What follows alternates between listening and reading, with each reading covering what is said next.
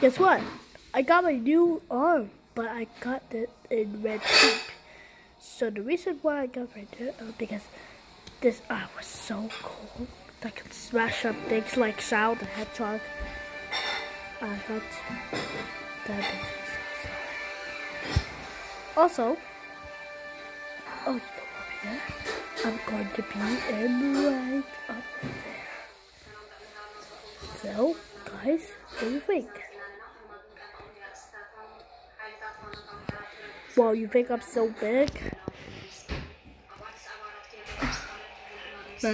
Ah, my gosh!